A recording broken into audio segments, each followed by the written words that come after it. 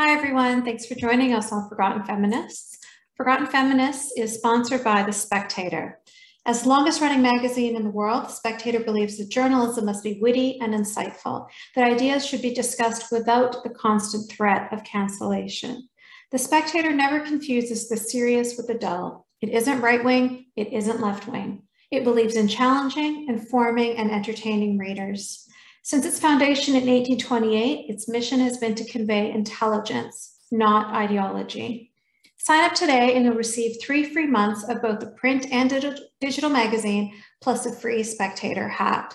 Just use the offer code Yasmine at checkout to redeem the special offer just for listeners of Forgotten Feminists. Thanks again. Welcome, right. Cher. Thank you so much for joining me today. It is an absolute pleasure to see your gorgeous smile. And I just love that you are sitting in front of all of those haram drinks right now. I'm making a point. yes.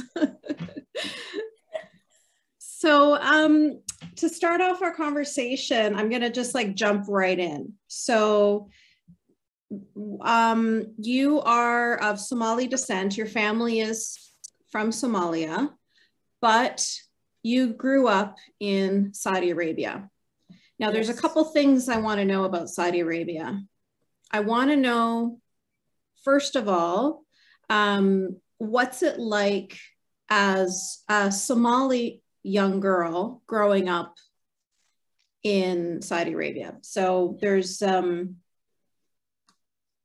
there's this one of the overarching ideas that we hear all the time one of the tropes sorry i keep on getting distracted. People keep on coming in so i have to admit them. One of the tropes that we hear all the time is the muslim ummah is all equal. We're all equals and there's no difference between one muslim and another. And that hasn't been my experience. I have seen some things no. that counter that. Um, yeah. So I'd like you to tell me about your experience growing up in Saudi Arabia. Um, okay. Um, well, uh, hello everyone. My name is Meshair. I get to be a little nervous when I take talk in front of people. So I'm just gonna talk and I am sure I'll be fine with you all. Seeing all your faces, it kind of calms me down. Um, so yes, like you said, Yasmine, I was born and raised in Saudi Arabia. My parents are Somali. I have never been to Somalia. Mm. My parents decided to come to Saudi Arabia for a couple of reasons. One, they wanted to raise their kids in a country that's not as poor as Somalia and have access to education and medical. And another reason was for um, religion. My parents are religious and they wanted us to be religious and grow up in the rules and laws and everything in Saudi Arabia. And now, yes, that was very difficult for me growing up. I was there in I was born in 1987 and I left in 2014. And that was compared to today, it was way more strict and it was very difficult. And I remember, for example, my education was limited and my access to um, things that I would need as a woman was definitely restrictive now, I grew up in between um, this confusion because my parents were less strict than the other families. So we had music in our home and we had um, satellite channels like MTV and all of these things. So we would we could watch cartoons in English and everything like that. But people around us would try so hard to control us. And they would somehow think they're taking control over my parents' parenting because they would think that my parents are basically not as strict as they're supposed to be. so I remember, and one thing you should know about my parents is that they're the people, they're the only people I have met in my life who can be easily mani- manipulated. And it's so easy to manipulate my parents. And I remember, for example, we would be having a normal day, you know, we just wake up, there's music in our home and everything. And then some people would just visit us, and my parents would completely change because people would just point at the things that are wrong in our home. And I, I remember that was very difficult for us. Mm-hmm. And um, yeah, so that was that was growing up basically in Saudi, and uh, life was definitely very very strict. Yeah. As so, you all know, I'm guessing it's going to be a very repetitive vocabulary, the whole restrictive, forbidden, and everything. But haram, haram, haram. Exactly. Yeah. That's like a trending word. If you have like yeah. Twitter, that would be like the first word on yeah. trending word. Yeah, everything is haram. Um, so, but I found I find it interesting that you recognize that it was strict when you hadn't grown up anywhere else like you were only in saudi arabia so you see all the girls around you being restricted in the same way you were and probably even worse than you were but you still felt something in your heart or in your mind like you knew this is a restrictive society Yes, I did. I knew it. And uh, my revolution. Because, tell me.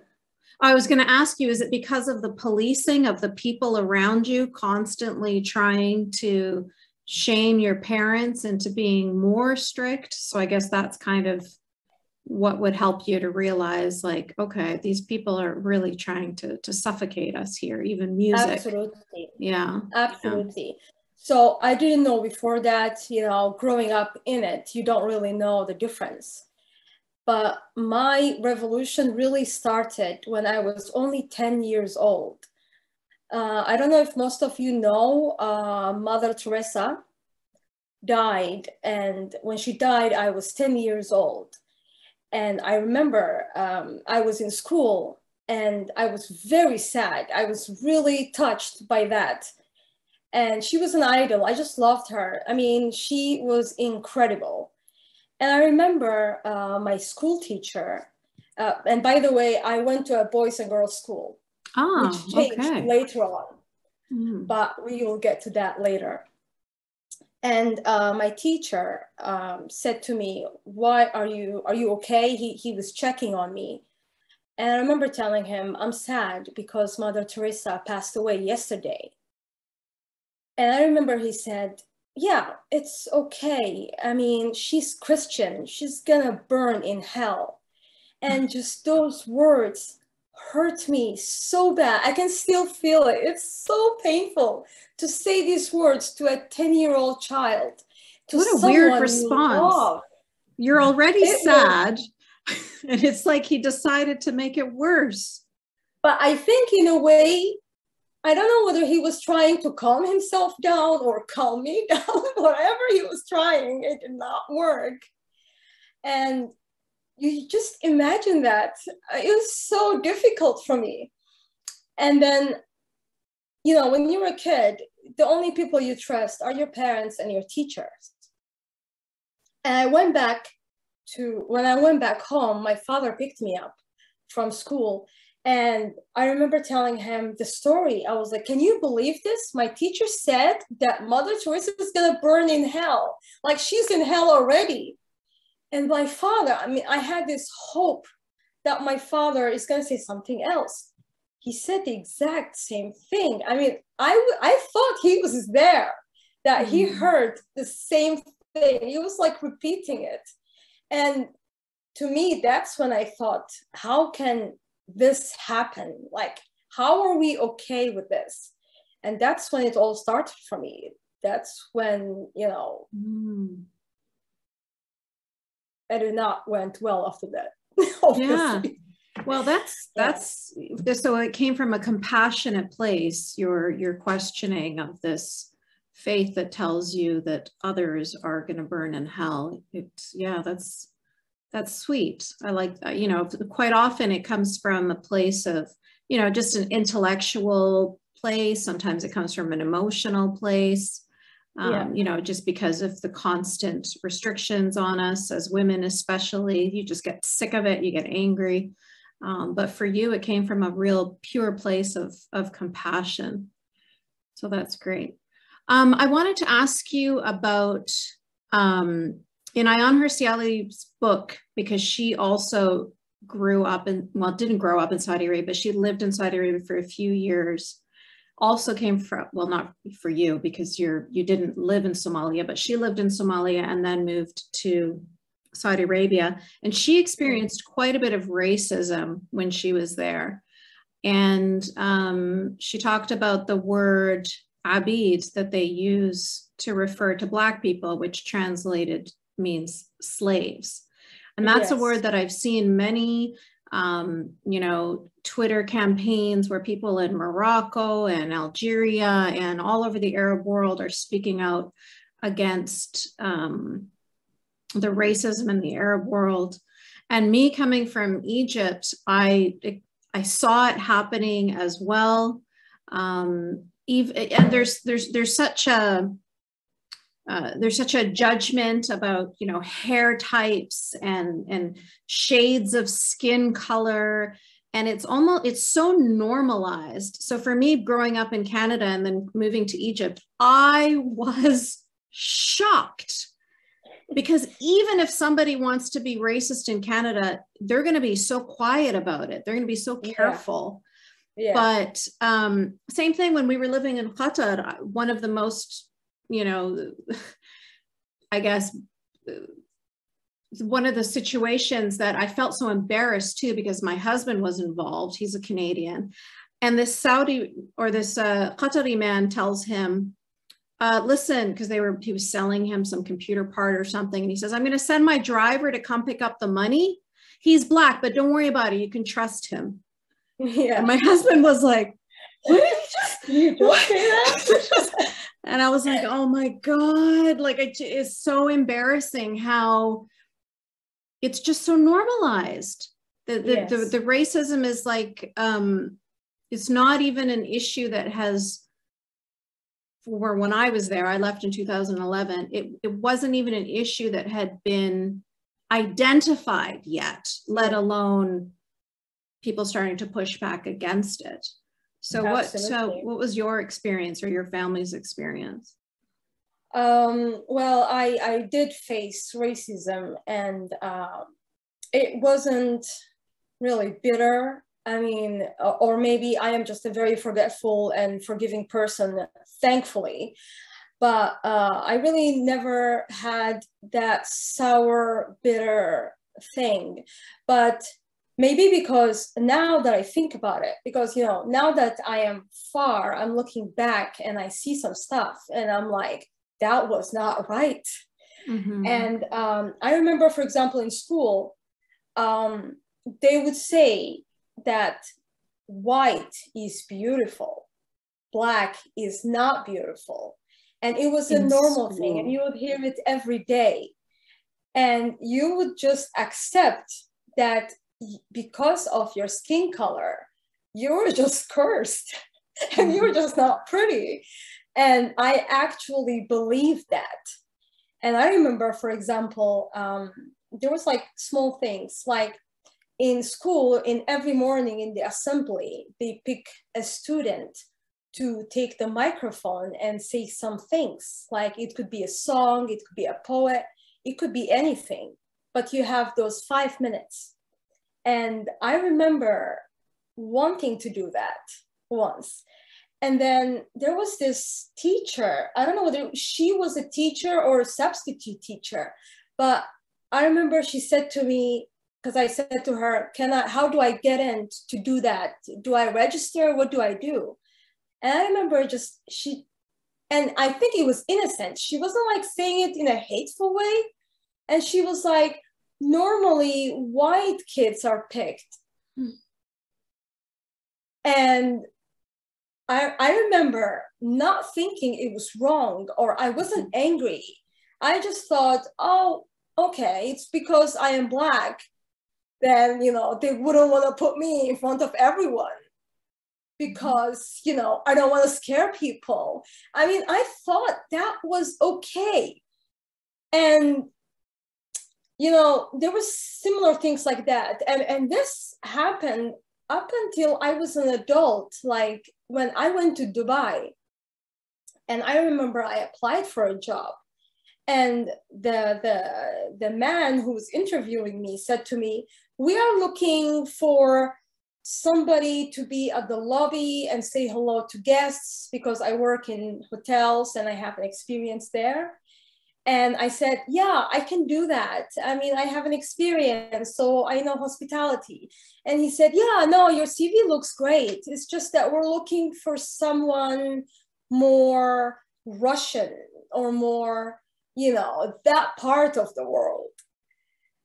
And then, then I was an adult. And yes, mm. I found that a little bitter. And mm. I said to him, is it because you're looking for a Russian speaker I, I just want to know, you know, it, it, are there like Russian clients there and everything? I felt like I pushed it because mm. I just wanted to know. And honestly, the idea of the whole black and white got out of my head. I was not even mm. thinking that. And then he felt like I was pushing him and he just said, It's because you're black. Oh my God. Okay. and, you know, those things honestly it never changed me i mean mm-hmm. I, I i don't i i never wanted that to be a bitter thing in my life mm-hmm. you know mm-hmm. the whole black and white to me it's i i believe in equality and i stand for it and i believe everybody is beautiful now now i learned that i am beautiful and i started to embrace my natural hair and i was like you know this is just who I am. And mm-hmm. I feel like I feel, I mean, right now I feel so much love and respect and, and honor and everything. And honestly, I'm very thankful to that. So that's yeah, interesting. because the the what you have described was my experience as well. It's not in a hateful way. It's just in a super normalized, un they're not they're unaware of it even being a problem. I don't know how like you know you understand what i'm trying to say right? Like exactly. It's so, so it, normal. It's just like the misogyny. It's so normal. You Absolutely. you grow up as a girl not even wanting for yourself or thinking of yourself as a human being with desires or rights or or needs because you've never been you've nothing in society or in your family or in your environment gave you the idea that you should ever think that way. So it's just yeah. like these really insidious, dark, toxic things are just so normalized that you don't even notice them. And that's why in my book I said it's like you're a fish that doesn't even know that it's wet. You're just surrounded by these things. Oh, I loved your book. I mean, I feel like it opened so many things for me. And especially the the thing you talked about with heaven and i mean i'm just jumping to another subject right now mm-hmm, speaking mm-hmm. of your book. But the subject about heaven and you know the, the, the virgins waiting for men i mean and and and the man saying i can take my wife to heaven mm-hmm. with me. I mean that was like watching a horror movie. Yeah yeah. So yeah. Yeah you get it because it's like I this the, the, prison bars are not going to just be on you here on earth but for eternity. That's there's no escape ever. Yeah that was uh, that was scary. Um, so i'm happy to hear that you went to it sounds like an international school so that's probably why you had boys and girls mixed together. Is that a correct assumption? Okay yeah. Yes. but um, one of the things that really surprised me when I moved to Qatar was how stark the contrast was, especially when you walk into the malls and all the men are wearing white and all the women are wearing black. It's like the segregation never stops. Yeah. And it's like, it, it, it's, it's so segregated. It's like they're wearing uniforms in real life to separate the two sexes like it, they're they're you go into a starbucks and it's separated you know everywhere you go there's it's separated. And then um you know there's someday when you're told this is the person you're going to marry and you know without having had any kind of interaction with anybody you from the opposite sex yeah that's it. Now you got to let them take you. Um, so how weird was that for you to grow up in a, in a gender segregated country? Did that make you uncomfortable at all or was it just like everything else? It was just sort of normal and you you didn't find it strange? Um I did not find it strange. Um, in a way, I was sometimes a little happy that I don't have to be around men because I just grew up in a country where men were so violent, angry, and their job is to just hate women. I mean, I don't know if it's a job, I mean, yeah, some people made it a job. There's actually Islamists. They get mm. paid to do that, to control women. I that's and there was so, religious um, police back then when you were there, right? Were they still? Yeah. Yeah. So yes, they go around whipping your ankles if your ankles are showing, or telling you to or they will shout at your you. hair in. Hmm.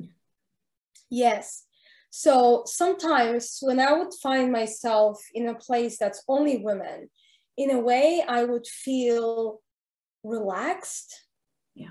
That now I don't have fear or, or there's no violence around me. And. In my school, it was the same. My male teachers were actually very angry people. And I was so scared of them.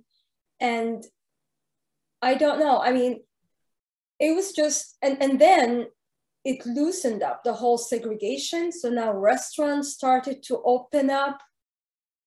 I worked in a hotel and uh, I see one of the members here, uh, Roa, who is here. She also worked with me in the same hotel. Hi, beautiful. Um, so in that hotel, for example, we had um, men, men and women could dine in together in the same place. There was no closed places, mm-hmm. but people think it's open. It's not. You you have these angry Islamists walking in anytime they want, you know, just checking your identity and who are you and what is going on and what is this, and I don't know. For me, honestly, living there in that environment, I was happy being just around women. mm-hmm. That's totally understandable. It's very sad, but it's completely understandable. Um, so now I want to talk about sort of your your change, your you know turning into the butterfly.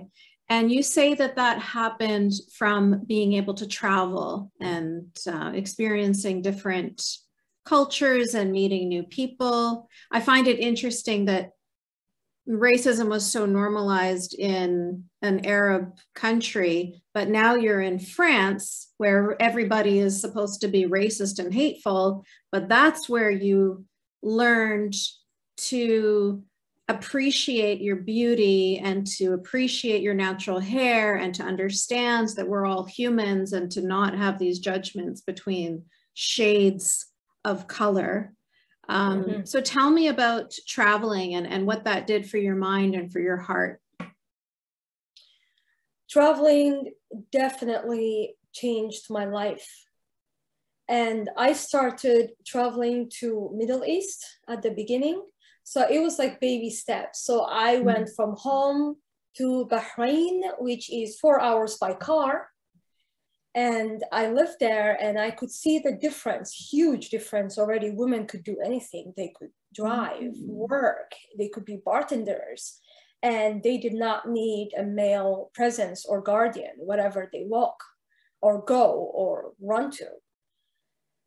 And it was liberating for me. And then I traveled to Dubai and pretty similar, really. I mean, yes, it was liberating, but still the society is holding back. And after being to many places, I think France is what truly, truly opened my eyes.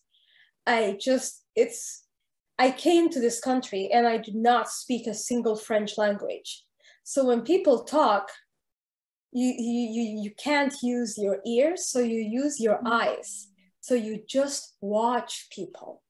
You just sit back and watch their behavior, how they laugh, how they talk, know, how they express themselves, everything. You just, I, it wasn't like in a creepy way, no. like staring. it was like a more admiring way.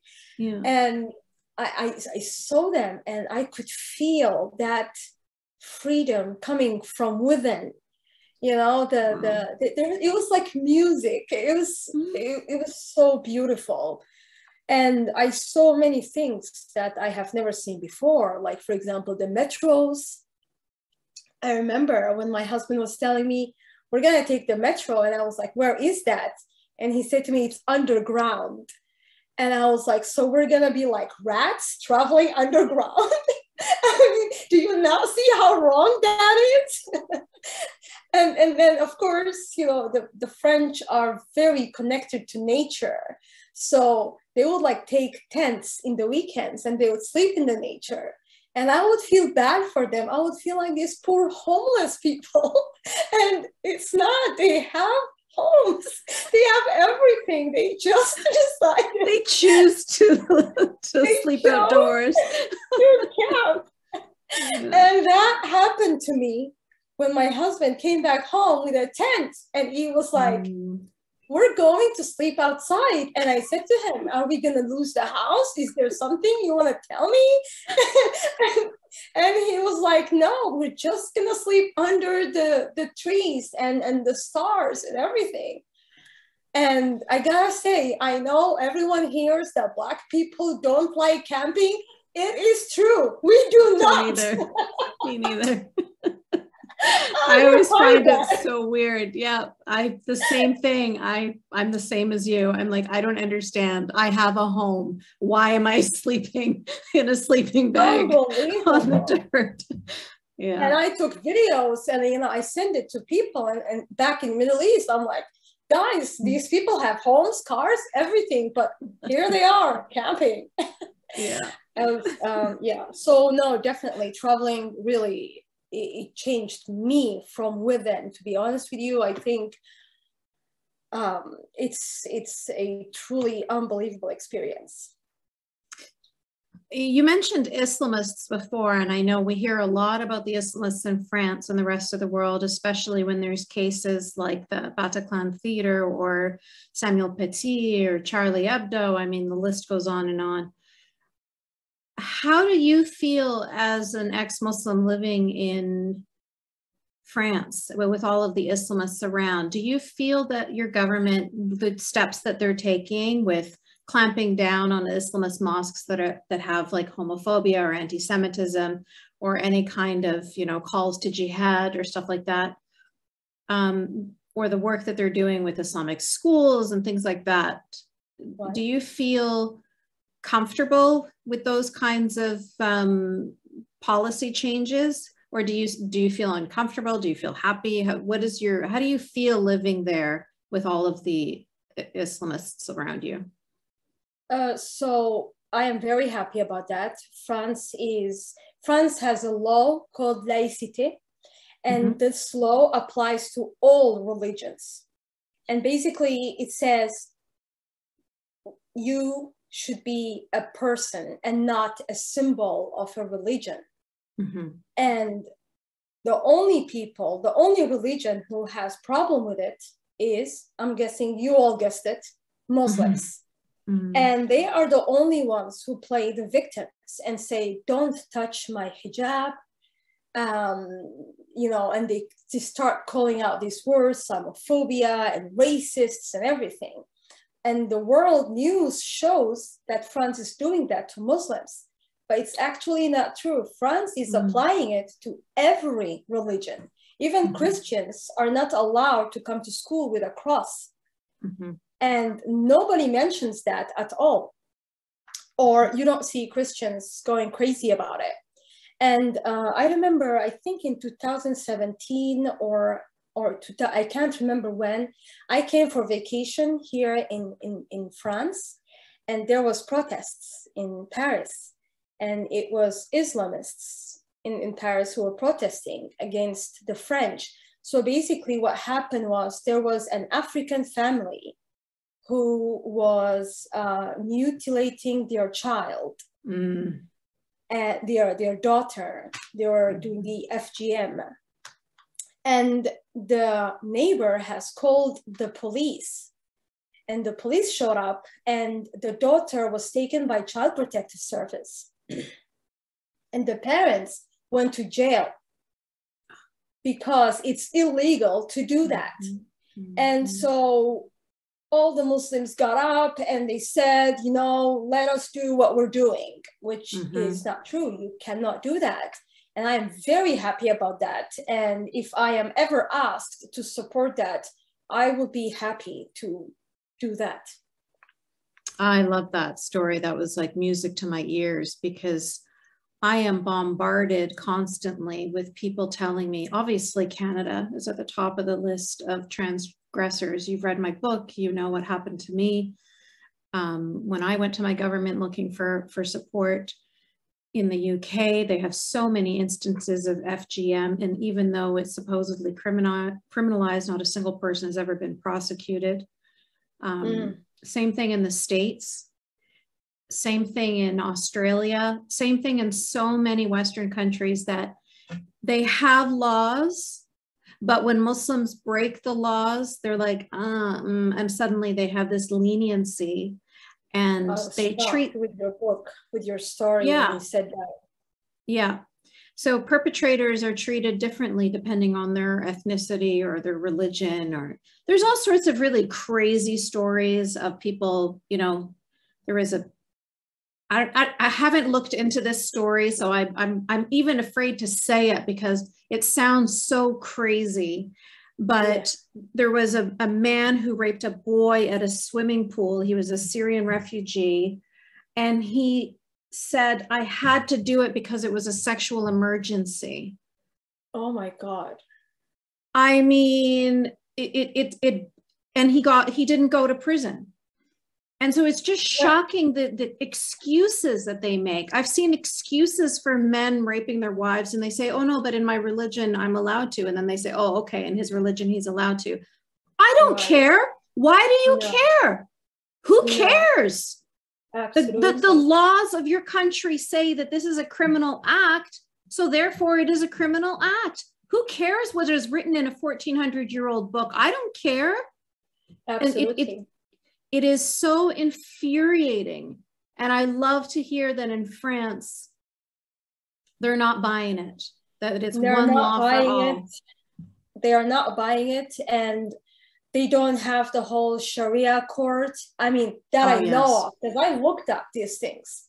I just checked and I just went online. I didn't really deeply go through it, but what I have seen, there is no Sharia court, and there they don't buy that. They just mm-hmm. don't.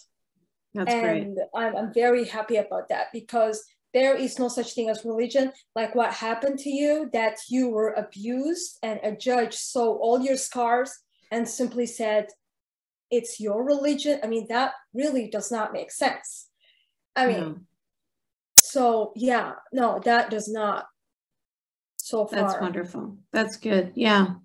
Yeah. But one of the most. There are that there are some uh, you know islamists who still think they can control you and everything. Yeah. so for example uh, i take french lessons. And uh, one time we had because uh, france is taking uh, refugees from syria. Mm. and there was uh, three girls from syria who joined my french school. And they're all wearing their hijab. And uh, one of them um, I found myself one time after class was finished, I was standing outside waiting for my ride. And uh, she was standing next to me, chatting with me. And her husband came over to pick her up. And, you know, we quickly just said hello, hi, Meshair, you know, and he left. And next morning, she said to me, My husband told me yesterday that he feels, he felt like you're a little too free. and and you know she paused for me to to take it in. Oh my god. And i was like did he like feel it? Like that's super cool. Did he like feel it? Who the fuck does he think he is to make a judgment about your level of freedom? I mean and, and i remember because it was winter so i was wearing a jacket so he did not really see anything, right? And I was like, oh, by the way, you also need to tell him that I have tattoos Good and that you. I drink and oh. that I married a guy who's not Muslim. Does he know all this? Or did he just like assume? Because I really want her to go back home and tell him that. Good for you. Oh, that's beautiful. It's like, oh, you, oh, was it too, fr- you want me to show you freedom? right? you asked for it. What is that? Like, where do you think you are? This is not, it's like the same policing that was happening to you when you were growing up in Saudi Arabia with them coming in and talking Absolutely. to your family about music or whatever. They think they're going to continue that policing wherever they are in the world. Except oh. the difference is there, I could not say, screw you. Here yes. I can. Yes, yes. Beautiful. Beautiful. I am so glad that you got free, Meshair. I am so glad that you posted that video on Instagram. And I don't even know how I saw it, how it came across my feed.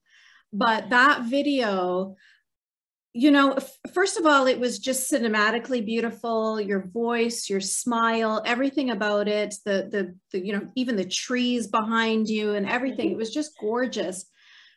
But the fact that you made that video and posted it, I think there are few people that can understand how incredibly brave that was of you.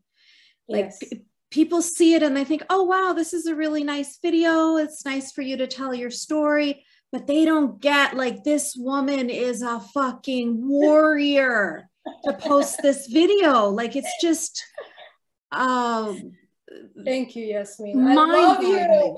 Oh, I love you. I just as soon as I saw that video, I was like, I need to know this woman because it's it's such a it's such a gift to the world that there are women like you with that kind of strength and that kind of courage. And it's contagious. Your yes, happiness, your freedom. I can see your freedom just as much as that guy could too. Like immediately. Right? It's so you radiate. you radiate and and that you, is the whole purpose of this forgotten feminists you know is i want to share people's stories and i want to inspire other people i want to encourage other women to see like i want that freedom too i want to have a smile like Meshair's smile Absolutely. Um, and now just the, the, the cherry on top of this whole story is your the man of your dreams that you married who has the best job in the world very smart woman for marrying him. Tell us about your tell us about your prince charming. Uh, François is from uh, french. And uh, i met him when i was working in bahrain and uh, the funny story there is that um, I am sure you know about this, uh, Yasmine. In our society, we a woman can never marry a man younger mm-hmm. than her. Mm-hmm. And in, there is absolutely no such case in every I case. did. oh, but you're no, talking no, no. about yes, yes, of course yeah yes. okay so mm-hmm. because in our culture that yeah. does not happen. No you're right. And i remember um, he he spoke with me and, and he told me how he felt. And i remember thinking yeah but you're younger than me. It, it, just I, I i just it just blurted out. And he didn't care. He was like so what? I mean it's not like we're 20 years difference or something. We're five years difference and to me, I was like, it doesn't make sense. I mean, your friends are going to make fun of you. Your, your family are going to make fun of you. I mean, you're going to be a joke. and um, he just didn't care. I mean, age was the last thing. And then we happened, and then we moved in really quickly. You know, we moved in together, and then we got married. And then uh, seven years later, here we are building our own projects and life and everything, traveled the whole world. And um, I remember when I met him, I was aware that he's not Muslim. And when he uh, proposed to me, I remember telling him, um, just at least like I need I need to say something to the people back home, you know. Mm-hmm. So I was like, so do you believe in God? Because back then, you know, now that I think about it, they got to me just a little. Mm-hmm. And by they, I mean Saudi Arabia and the rules and everything. So I said to him, So uh, give me something like, do you believe in God? And he said, Do you? And I said, Yes. And he said, Me too. And then years later, one day we're just in a restaurant, they're just having a drink. And I was like, Do you believe in God? And he said, Do you? And and I said, No. And he said, Me neither. And I was like, that is such man. a cool technique. I'm gonna use that every time. Like when someone says to me this, I'm gonna be like, "Do you?" I'm mm. just gonna believe in what you believe in. Like it's awesome. He didn't want it so, to be a deal breaker. He was afraid that you would run if he told you the truth. So he just perhaps told you I what guess, you needed to know. hear. And the man is well, a pastry chef. So he's a pastry chef. If you have to denounce Islam, that's easy you know i see paul oh, going crazy that that is amazing um, okay so now i'm going to open it up to the rest of the group so that they can all ask you questions share their stories um, hi guys you've got some chats there You've got some messages from Sarah. Sahara is uh, is also oh here she is. She just turned on her camera. She is such an amazing woman. You have to watch The Forgotten Feminists with her. I mean, talk about strength and bravery and courage and just just immensely phenomenal woman. Um, we, we so, spoke a little on Instagram, and oh, yes, good. it's like her words are music to my ears. It's yes. just incredible. Yeah. Yeah. Um, so if anybody has any comments or questions for Meshair, please use the little hand up reaction or wave at me or turn on your microphone. Looks like Rena, you're first. Oh, thanks. Oh, Meshair, I just wanted, you know, so many things I could say to you, but I've spent two years in Ghana, which was West Africa, and almost four in Saudi. So, you know, having been had the pleasure to do that, the, the chance to do that, I think we're all humans. There is only one God, and God is goodness. So we should all get together, pray whichever way we need to pray, but more yes. important, let's share our food and then dance. There you go. Yes. And one more comment, because I want to let I want to hear other people. Is when I was showing my granddaughters pictures from Saudi, the six-year-old said to me, because we had talked about how hot it would be, like 50 degrees sometimes, right? So she said, that's not fair. The men wear white and the women have to wear black. She it's is absolutely so right. And and black attracts heat. Exactly. That's what she was saying. But to hear from her was amazing. How absolutely. I remember I went to um, because uh, I we weren't strong in learning Islam at home, and my parents wanted us in in uh, summer schools in summer when when there was vacation. They wanted to enroll us in Islamic schools, and I remember when I would go there, they wouldn't like the way I am dressed, so they would add one more black layer on me from head to to toe and it would be so hot and I mean, I remember I, I was discharged right away. They were like, you don't belong here. And I was like, yes. but I remember that it was so hot. I mean, I already had one, and they were like, that's not enough. We can still see something. And I'm like, what could you possibly see? And they would cover me, and that was that was another story. So yeah. Where in Saudi Arabia did you live, Rina? Where, where in Saudi? Where in Saudi? In Jeddah, just outside. Jeddah. Uh, I work just outside of Jeddah. Yeah. You know, I, I got stopped by the Mutawa one time, the religious police. I was downtown shopping and my, you know, head cover had fallen off. And this truck stops in front of me and went, cover your hair. I went, pardon me? Cover your hair. Oh, yes. Oh yeah, where is it?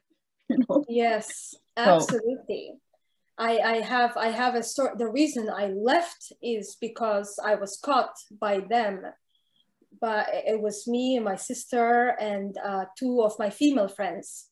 And we were in a car heading somewhere and they just pulled over right in front of us. And uh, we had a driver and uh, everyone, I just need you to know when you have a driver in Saudi, it does not mean you are rich. It just means as a woman, you cannot drive that's as simple as that. Because when I tell people in France I was with my driver, they think I am filthy rich. And I'm like, mm. no, no, that's not the case at all. And so um, the Islamists stopped and they just pulled us out of the car and they put us in their car simply because one of our friends started talking back at them and she was like, What do you want? And screw you guys. And that was a mistake, which I understand her. I totally do. And I remember that they put us in prison for four days. And we were mm-hmm. out of reach for three days. Like our parents and our family did not know where we were. And that was the, the time that I, I thought I should leave because after coming out, I was depressed. I I I I would have I thought I had suicidal um, thoughts and and I had stomach aches and I lost all of my hair. It was so scary. I wasn't even myself, and they can definitely ruin a girl's life. And like I said, they they do a career out of it, and they're really good at it why did yes. they pull you over? Like what what what were you charged with? Well, we were charged with um, basically single girls going out without a male guardian. And uh, cherry on top is that I had a dog. So uh, in Islam, dog is considered a filthy animal and they don't like dogs. I mean, the fact that you are part of a religion that hates dogs, how is that not a red flag? Mm-hmm. Seriously. I mean, and so uh, it was a dog that my brother found in the desert when when we were back in Saudi. I, I was 16 years old. I remember that, and it was my birthday. So he said to me, "I found this from in the desert. It was alone, and it's yours." And I loved dogs so I kept it and I took good care of it. And he was huge part of my life. Mm-hmm. And they just took him and they just throw him in the desert. And they were telling me just to, that's how violent they are. You know, they, they just tell you words that are so hateful. And they just said, we're, we're gonna throw him in, in the desert and he's just gonna starve to, to death and he's gonna die of thirst. And looking at your pet in the eyes who's trying to crawl back oh at you God. it was such a terrible terrible incident.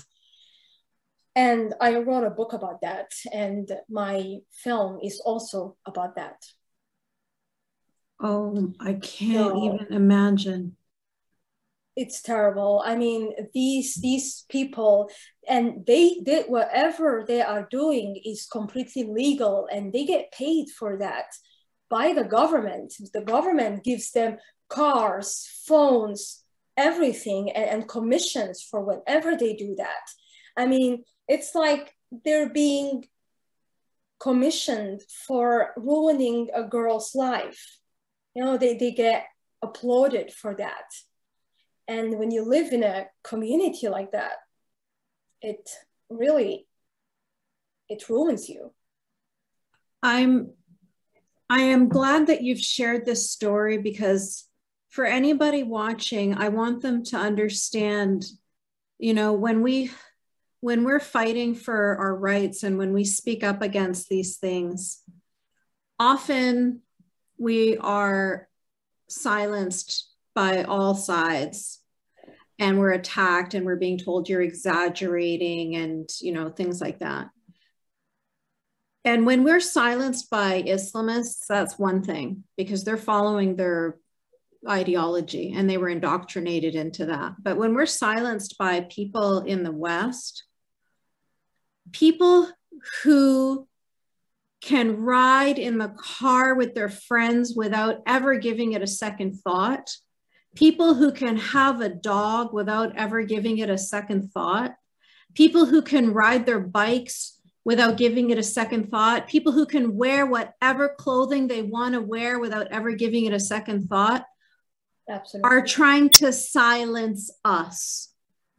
The amount of privilege and just cluelessness that they're living in and, and the, the entitlement that they think that they have to tell us to be quiet and for us to not share our traumas.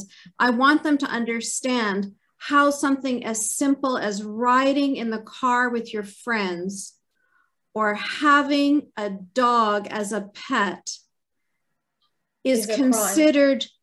Criminal activity. You go to prison for it. A teenager thrown in prison over these crimes, and your family doesn't even know where you are for three days. I mean, they must have just been absolutely beside themselves with worry. I meant to ask you. They were calling hospitals and they were trying to find us. Nobody and it was your, cared. Your sister and your brother. So it was like.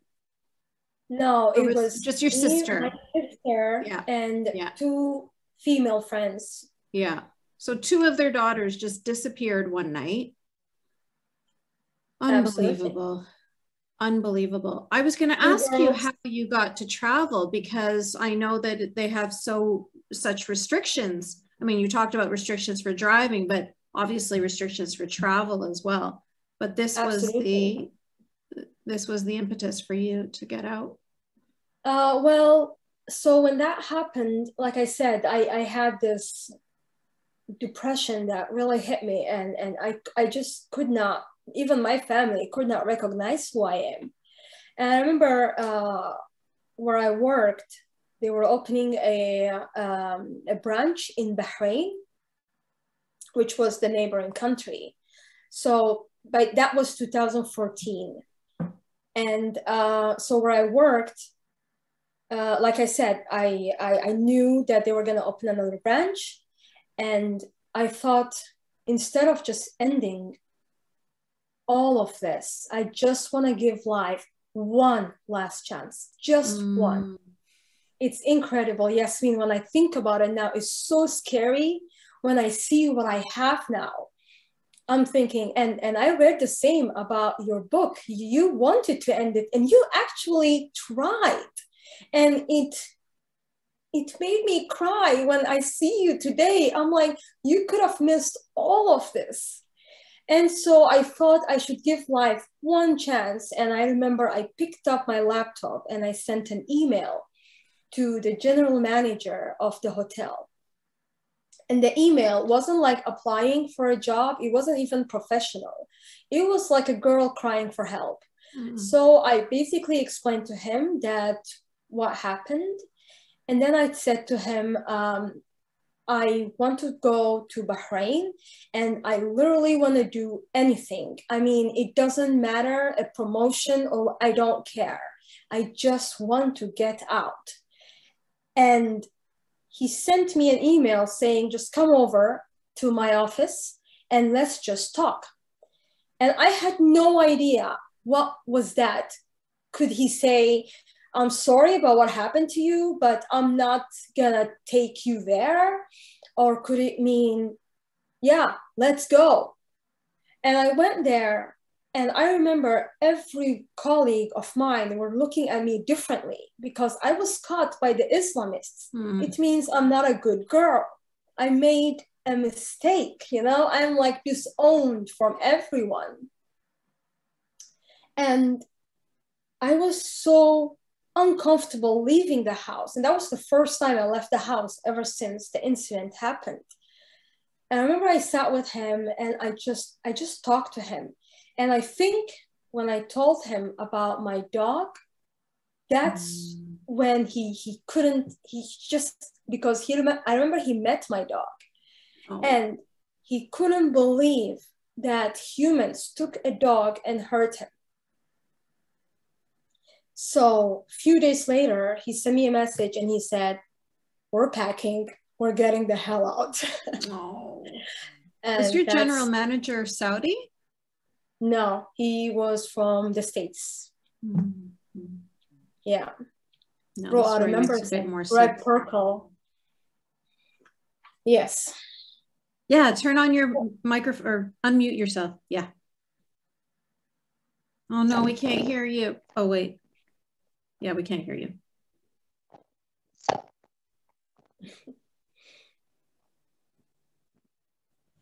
Maybe I'm oh, just. No. oh, perfect. Yes, I was having issues, but um, my name used to be Roa. Now it's Leora after I left Islam. But uh, I used to work with her in the same in the same uh, office, and then she was just behind me. Yes. And you know, Meshair, I never knew what happened with you yes, she was this person I really look up to because uh, I'm Sudanese and she's Somalian. And uh, she was always this happy person in the office, right? And I looked up to her, and because I was going through a lot in my life, I would say, one day I want to be like Meshair, right? you would not want to be me. you were you had your own personality you know you i actually when i think about it now yeah i can look at the person and see that how how strong she she is right? And she would always uh, have, prank everyone in the office. She's always happy and smiling. And one day uh, i realized that you're not there. And because i was so uh, i was going through a lot i'm not the kind of person who would ask twice. Uh, so she suddenly she disappeared. She didn't come to work, and she's always early with me. I would we're in the office early, and I asked her and I said, "Oh, where's Meshair? How's she doing?" And everyone would say, "Just oh, she's she's just sick." And I, I never asked. I never asked again um, until when she came back. She came back a whole different person. Mm. I couldn't. She didn't even smile. I looked at a person, I said, no, that's not someone who's just sick. Mm-hmm. But I still didn't ask anyone else. But it was within me. I knew that what whatever happened to you has nothing to do with you being sick. And then I only found out about what happened with the I call them haram police. Mm-hmm. I call them haya. and I just found out recently when I when I read your book. And now I know the story too. They they did a they did a good job hiding it, and um, yeah.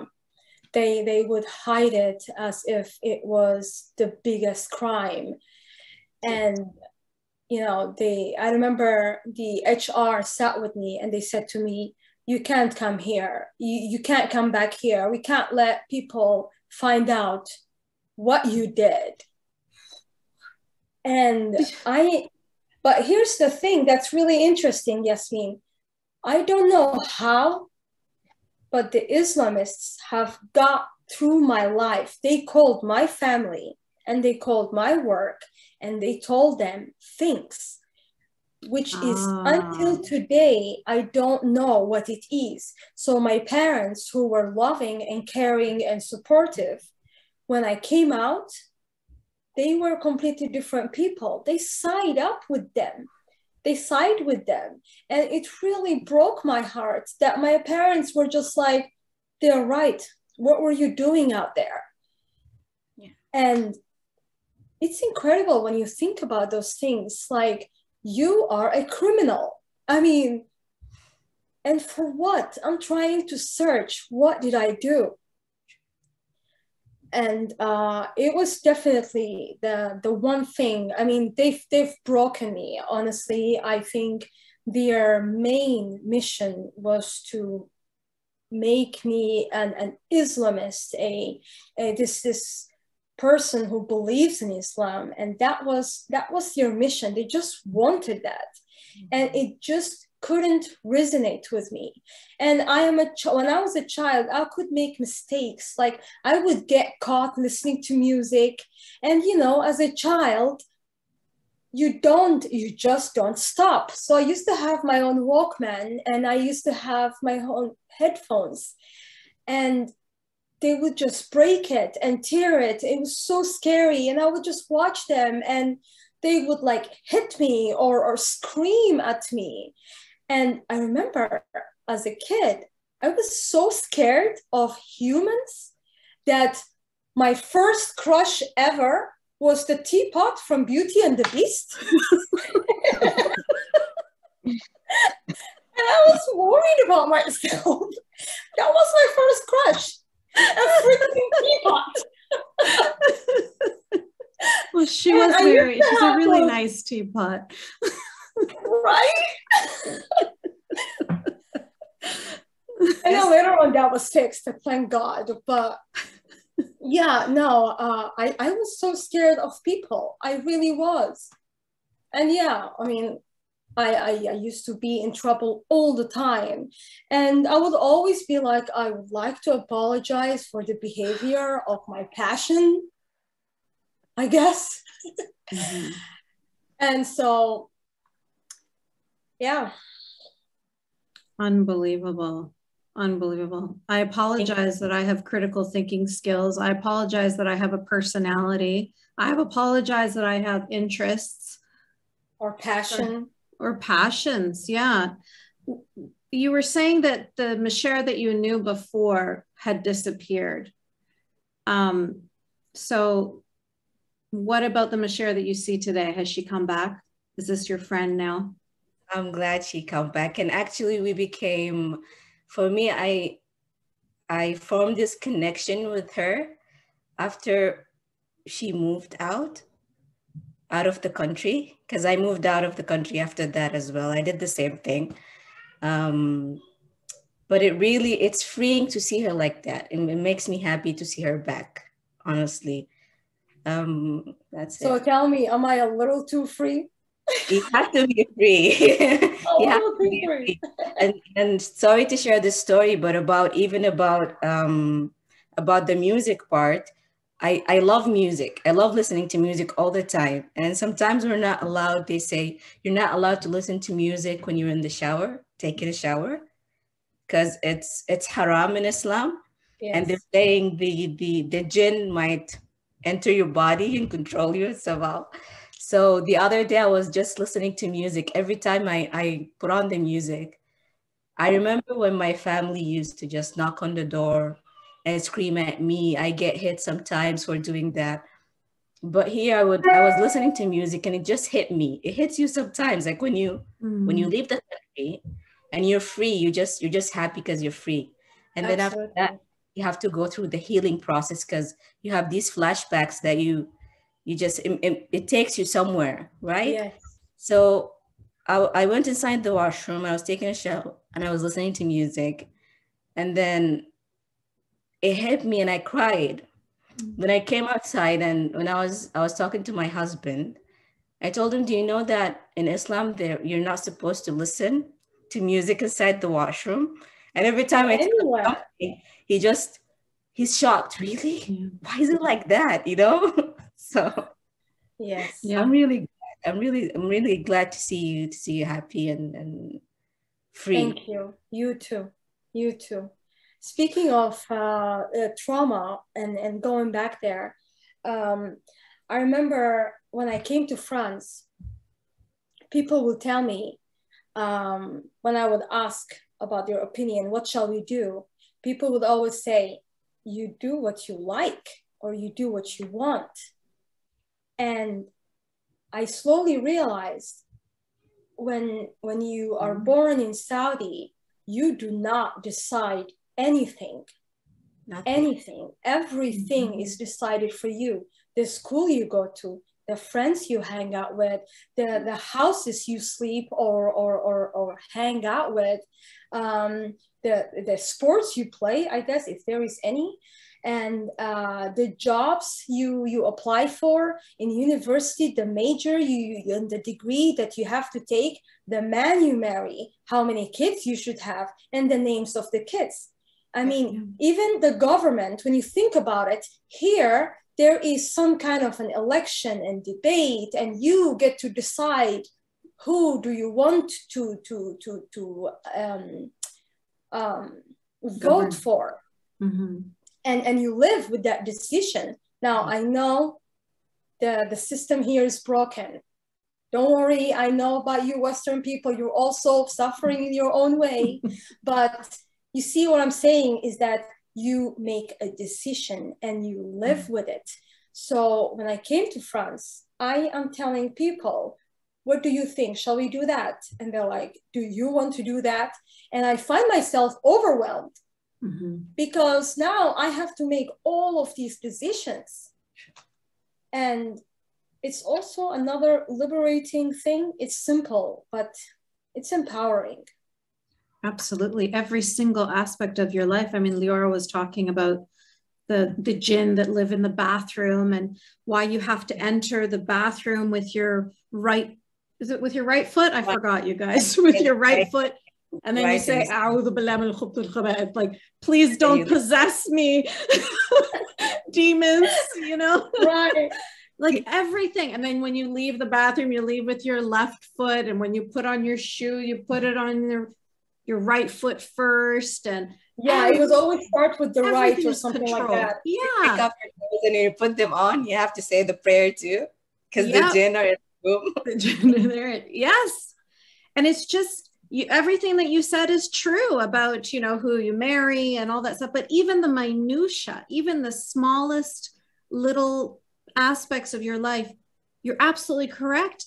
I had no idea how to make decisions. That was probably the hardest part for me was because I was Yeah. everything was decided for me. And suddenly I had to choose. I'm like, "Ah, how do you even Overwhelming. Yeah. Very.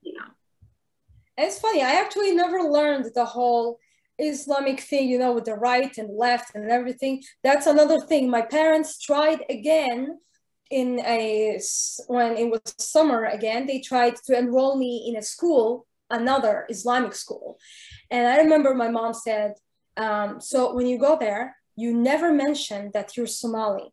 And the reason is because these Islamic um, schools they the, the chairs are reserved for locals the registration. And then when mm-hmm. they think they have enough then they enroll the minorities or other nationalities. So and i was not aware of any of that until my mother said just remember do not mention you're somali. Mm-hmm. And i remember i went to school and during registration I just voluntarily blurted it out because I wanted to be kicked out. So I was like, by the way, I mean, she was like, what is your name? And I was like, just so you know, I am from Somalia. And My she was name like, is "Yeah, Somalia, that's it." Somali, I was like, Somali. "Hey, let's go." and, and, and I remember coming back home and looking looking my mom in the eyes and telling her she asked me where I was from. I, I, I can literally tell you, but she didn't care. So yeah, luckily I never really learned those things. But you see, that's what I'm saying, Yasmine. That's why people would come over to our house and then they would see those Mm. wrong things and they would manipulate my parents like no no one's gonna marry your daughters or they're gonna die alone and i would just be like you know at least worst case scenario i have a teapot you know like i am fine for life i do not i'm not worried but that wasn't the case for my parents So it sounds like your parents are pretty open-minded, except for, of course, them believing the religious police. That must have been devastating for you. Um, but how did they? Have you ever told them that you've denounced Islam? Have, have how did they react to that, or have you never had that conversation? oh no i have not if okay. I ever want to kill them, I can just say that. Yeah. But yeah. no, I have not tell them that. Uh, so yes, my parents are very religious. But you see, when I see our friends, uh, their parents would tell them, you have to pray and you mm. have to mm. pray in front of me. They will like supervise them. But see, we didn't have those things at home. My parents were just incredibly scared of people's judgment. Yeah. And people would do a really good job doing that. I mean, it would be so easy. You just walk into a house, you already see a radio, and you're like, you have a radio in your house? And then you see your dog, and then that's it. it that's a done deal. That's like, mm. that's like no. it. No angels and, are going to go in know, your house now. Exactly. That's it's like things like that. So, mm. and and they would just get really angry and they would be like, that's it, you know, let's turn off the TV, let's all start being religious. And normally that would last for like a couple of hours, but then it would just never end. Mm-hmm. I'm really interested in reading your book, and you haven't mentioned to me that you had a book. So, can you tell me the title of your book now so that anybody else who's interested in reading it can also get it? Yes, currently it's in French.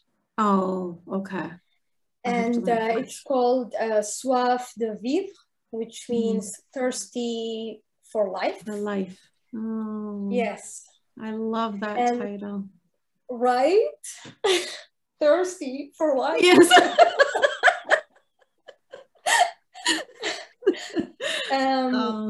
English will be coming out soon. Okay, wonderful. And you'll let me know as soon as the English is out, please. Yes. And I, I can't wait to share that. Um, yes. Um, so is there anybody else that had any questions for Meshair before we wrap up? Paula sent a message. Is it possible that I read very weird news like French doctors will not rebuild the vagina of non-virgin Muslim women? Why? What's that? Yes, Paula. So um, in Islam, uh, when a woman gets married, she should be virgin. And uh, a lot of women who are not virgin, they go to hospitals and they get an operation to get that done. And uh, I don't know how that's possible to even make it, but it happens. And yes, in France, that does not exist you simply cannot do that because if the guy who wants to marry you finds out you're not a virgin, I'm sorry, but he can go fuck himself. Love it. so there you go. Simple as that, right? Beautiful. Sahara, were you about to? Yes, go ahead. Unmute yourself. Hi guys, I am so wow, what an amazing. I was laughing and you know my camera on and off Meshair, we are so proud of you. Congratulations for your uh, freedom. Thank You're you. truly a fighter, freedom fighter, you know. And um, yeah, it's it's so interesting, you know, the, the people in in in France in, in France, the country you're at right now, these crazy morons telling you that you are you are too much free. It's like it's, it's just insane, you know. Yeah. Um, yeah and and also i want to talk about because i am also um i was born in somalia even though i don't know anything about that. I call it a shithole because that country still is a shithole. Um you know they can't get their shit together. You know the, the thing is they can't get their shit together because the interesting thing the somali people are one language one nation um one you know uh nationality but they fight in each other they fight in each other and you know the reason is tribalism and racism does exist within the somali community and also arab world and africa but they don't want to talk about real oppression and racism does exist in the african country that i grew up because i remember when i was growing up uh, in kenya because i was born in somalia and then the civil war happened in 1991 i was a baby and then we flee from somalia came to Kenya. So I don't know anything about Somalia, but I do know Kenya. So when I was growing in Kenya, I remember this uh, my this um, group of people. They they were called Bantu. I don't know if you know Bantu people. Have you heard Bantu people? Uh, minority Somali. Bantu, yes. No. No, you don't know Bantu because probably you, you didn't grow up in a majority uh, Somali community or Somali, you know. But these Bantu, they are Somali. So they are minority though. They, the majority of Somali Somali people don't marry the Bantu. So the Bantu people are they have a, their own culture. They still Muslim, so they they still practice Islam. They speak Somali, but they have a different dialect. They do they do speak something uh, Bantu dialect. So I remember when I was a little girl, these uh, community or this group they were not married by the majority of Somali people.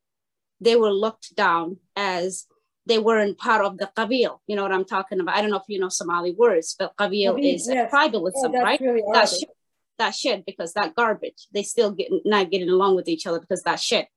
So the qabil is when you're Somali, you have to marry your own qabil, which I never subscribed that. So for me, I was the odd one because I didn't have a qabil. I didn't subscribe qabil because I'm just a human being. I'm Sahara and I just never fit the Somali description card.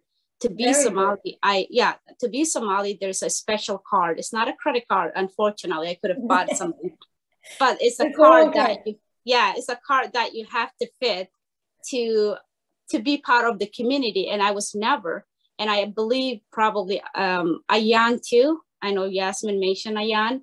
Yes. Um, you know, so when this card is like you have to be a good Somali girl, you have to have your tribe you have to know your qabil i never i never subscribed qabil because i thought if allah was you know created all of us and why do we need a qabil and i just treated everybody okay but no you have to have a qabil and i didn't have a qabil because i didn't subscribe that nonsense you know shit so then i was called midgan i don't know if you know that word midgan no probably you don't do you speak somali language i do Okay, so midgan is basically the person who does who don't have um, who don't uh, have a tribe or who doesn't have a qabil.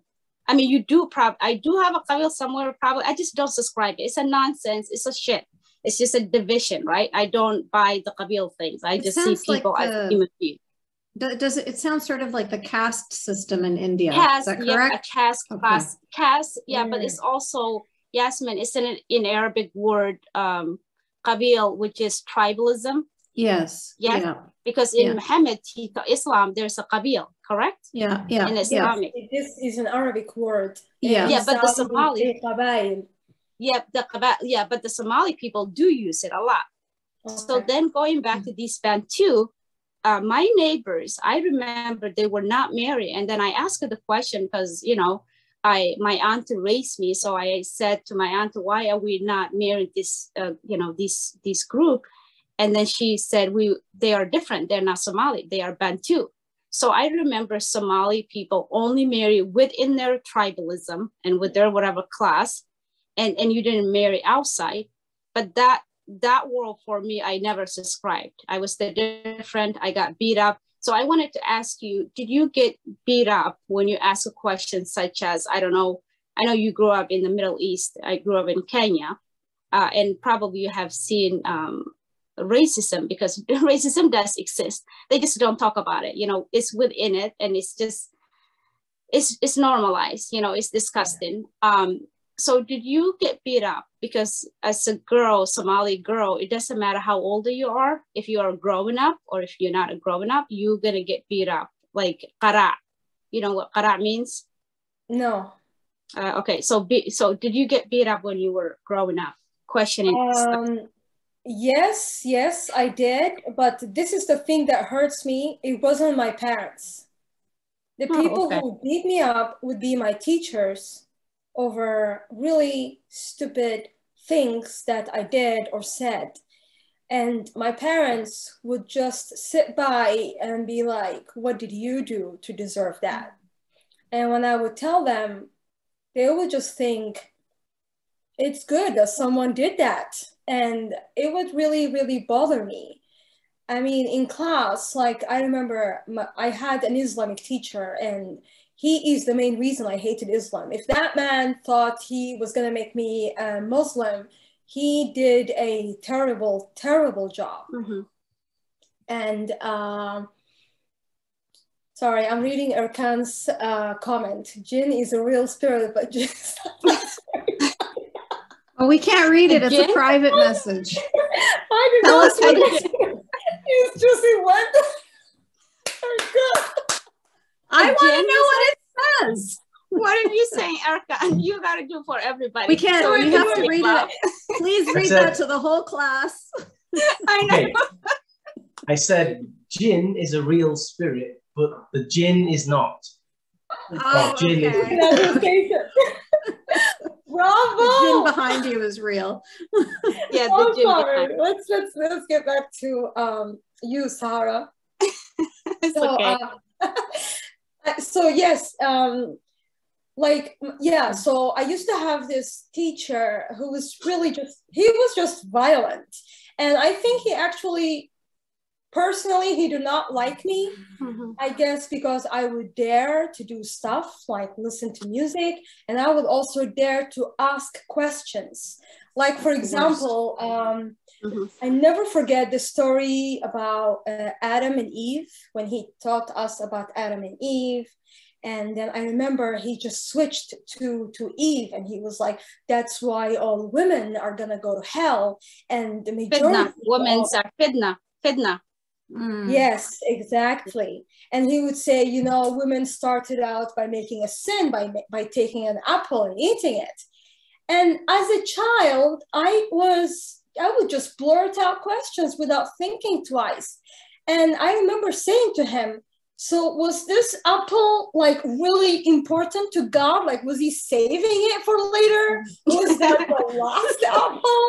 I mean, was it I mean, he's supposed to be God. I am sure he's gonna make another, another. right? And He's making made 72 me- apples. I think he's ran out of I mean, think about it. And, and even I wanted to add, like now that I think about it, I was like, so did you guys ever think about how men have this thing on their throats Adam's that apple. says Yeah. Adam's that- apple? Like, it. But that's not the point now. So I Mm. remember asking this question, like, was it so important that he had to do that? And he went crazy and he just Mm. wanted to make me an example and he hit me. And I remember I went home and I could still, I still had his um, fingers on, on my face and my face was swollen. Ugh. And my dad picked me up. My dad will always pick me up from school. And he said, What happened? And I told him that apparently we're not supposed to talk about that apple. No. and when I explained to him, my father just went, Yeah, well, you know, you're not supposed to ask questions. Mm. That's how I learned. You're not supposed to ask questions. But, you know, yeah it, it's, it's, it's the control the whole community even like uh, you know but i got beat up from my parents because i escaped in the middle of the night for myself to for for my freedom uh, so beating is normal you know beating uh, girls especially um, the the girls do get more beaten than the world where i grew up so you just get hit yeah, by questioning or just going to a neighbors or just not wearing the right hijab or just Yeah. again, just asking a simple question. It- and then also on top of that is the community. The policing within the Somali community is very bully. I, I know you didn't grow up, but I remember even just coming here, girl, like coming to United States and like your your experience really is so relatable because I came to America not speaking English as well. So I was Mhm. looking with my eyes and I'm just like, holy cow, they can wear short. These people are okay. I was in a different universe, just like when you went French, you know? So, and then of course, the people here, the Somali or the Muslims who wants to, oh, you sister, you need to wear the hijab or you need to do this or you need to, you know, be part of the tribalism. And I'm like, I left that shit. Why do you have to bring that shit in here? You know, Yeah. that's the things I escape from. So it's Yeah. interesting. Um, the reason I brought out the Bantu people is very fascinating when Somali people come to the Western world when we are so racist toward, toward each other, and especially we're so racist. And I, I really believe there was slavery. And I, I really think, of course, Somali people were enslaved by the Middle East, but also they did enslave other Black Africans. So the Bantu people, I believe, is from, and I'm doing really writing my book and this, uh, looking up their history. They are from um, either Kenya or some, you know, they from Africa, but these people were taken from their uh, their country, taken to back to Somalia, and they were slave too. So th- these uh-huh. are the uncomfortable uncomfortable conversation we don't want to talk about the issues and the you know things that still exist. I remember back home still even I left to I left to Kenya 2000 2006 06 it's still those you know these barbaric is still being practiced you can't marry bantu people but then you come here we have somebody like ilhan omar you know coming here and running with her victim uh, racism card which she was never enslaved she probably we slaved people back home you know? So mm. she was never a slave. So she comes to the western world. We come to the western world. I'm not talking about the people who wants to live normal but i'm talking about the people who are driving this narrative about racism when our own community we are so racist toward each other. We don't even marry okay. two people because we are so racist and because we don't think they are the same as somali people the majority yeah. somali people. And when i brought up those conversations even when i was in the religion i was in the in in the community in the in this ideology i was called i was midgan i was not part of the you know the whatever they want me to be part of it. So we have to be honest. And, and these people are just incredible. You know how they just come complain complain when their own freaking community little girls in in the united states right now little girls are being cut every day. Female genital mutilation. They don't want to talk about this is happening in the western world and it's disgusting. And and you're going to talk about racism? So these people are unbelievable and that's why i just recently wrote a letter to ilhan omar with her Islamophobia, you know, bill she's passing, and and this is a whole world, you know, the whole throughout the world is going to affect that you can't speak about Islam. It's all about silencing people like us. It's not about protecting any anything. That Absolutely. bill will not protect little girls getting their clitoris cut up every freaking day. So I am just so proud of you. I just want to say thank you for sharing your voice.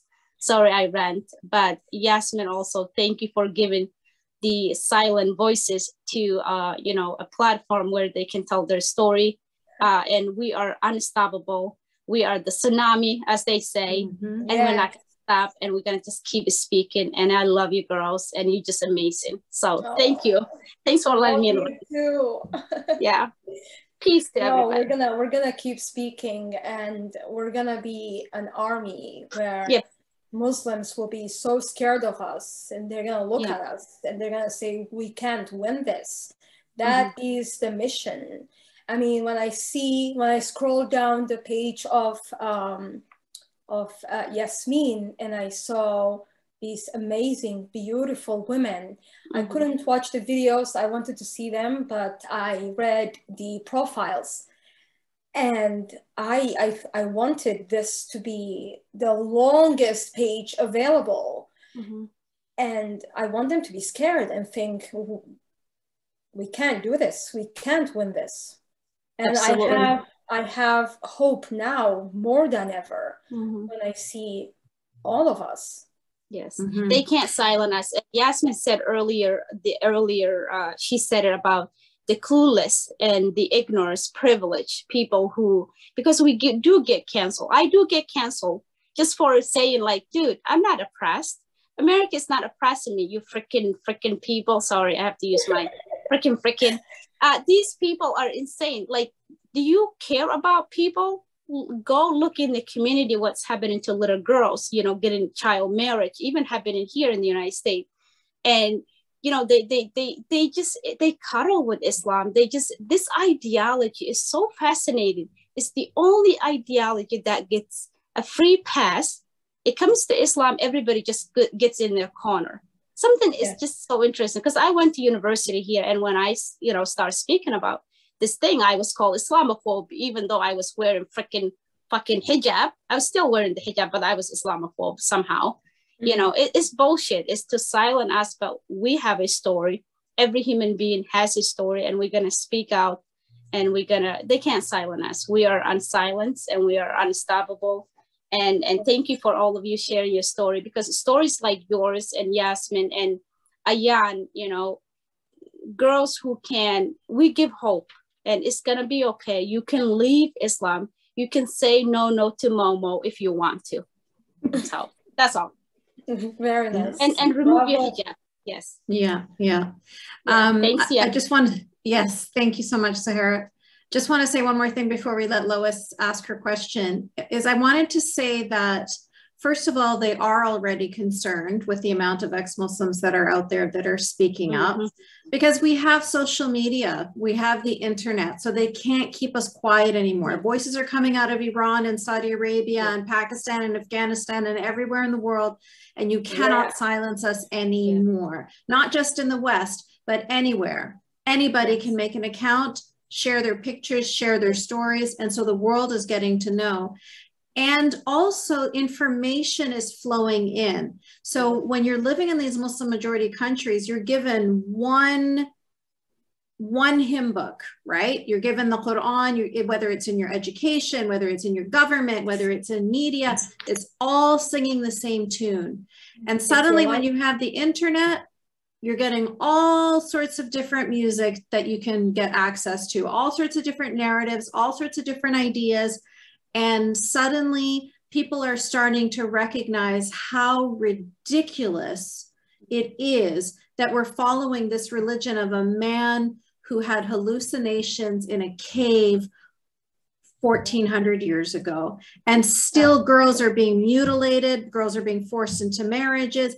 I mean girls are being forced into hijab or they're being thrown into prison. I mean the, the- it's endless what they're still murdering people for being gay because Yes. of this person that had a psych you know a psychotic break in a cave Mhm.